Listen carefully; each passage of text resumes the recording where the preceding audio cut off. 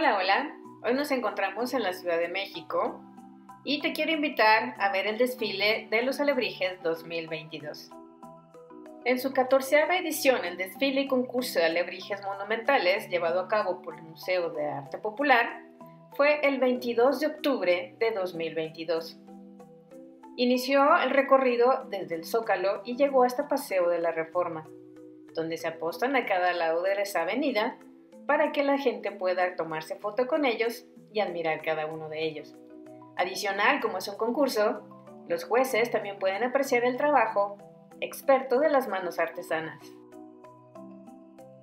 En 1936, cuando tenía 30 años, Pedro Linares López, cartonero de oficio y originario de la Ciudad de México, enfermó gravemente, perdió la conciencia y cayó en un profundo sueño. A través de este, se le revelarían unas criaturas extrañas que iban a cambiar su destino como artesano de la Merced.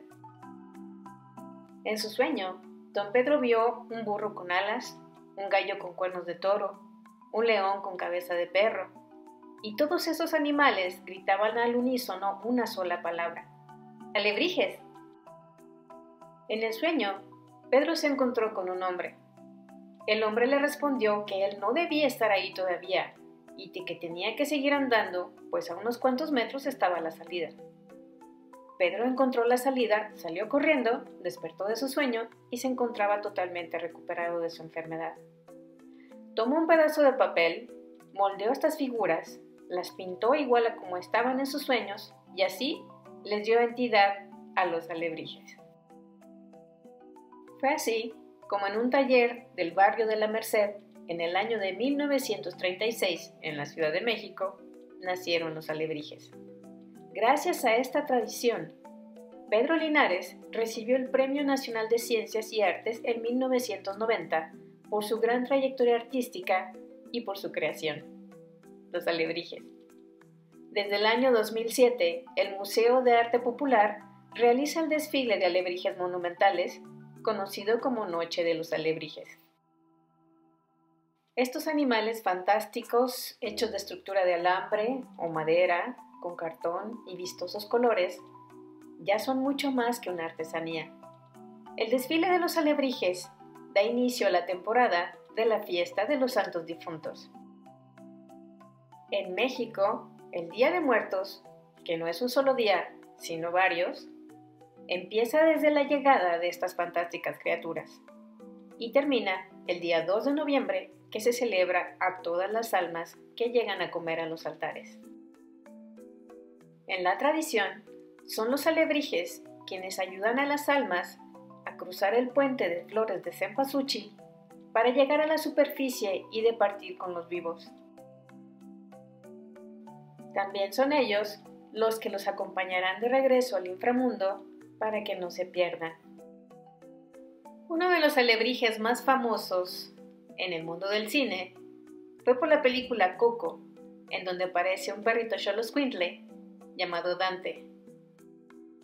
También en las películas La leyenda de la Nahuala y La leyenda de las momias de Guanajuato aparece un alebrije hippie que se llama Evaristo. Las hábiles manos artesanas trabajan durante semanas para participar en este concurso. Así que vale la pena que cuando vengas el año próximo pases a verlos porque definitivamente no te los puedes perder. Ahora que si vas a visitar la Ciudad de México este año 2022, los alebrijes monumentales estarán en Paseo de la Reforma hasta el 13 de noviembre.